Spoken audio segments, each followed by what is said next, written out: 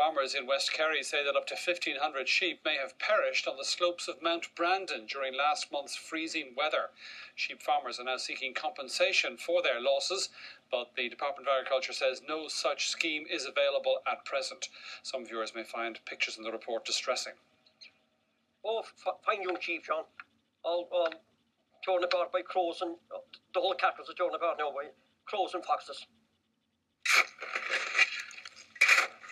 Four weeks ago, Mount Brandon's sheep farmers were desperately digging, hoping to find some of their sheep still alive beneath the blanket of snow.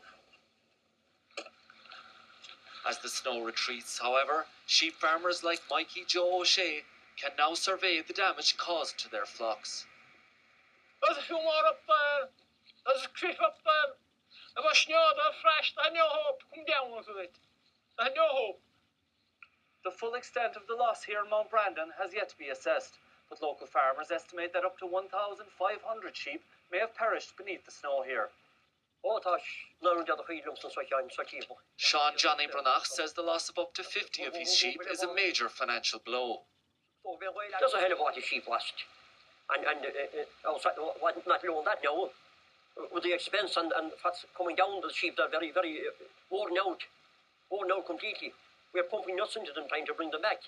I, I don't know how many would be in even, you know, wasn't that won't stay in lamb.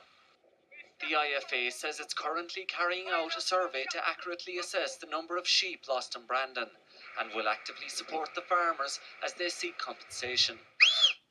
Today, however, a spokesperson for the Department of Agriculture said that no such compensation scheme existed, but that the farmers may be exempt from having to recover the carcasses due to the remoteness and inaccessibility of the area.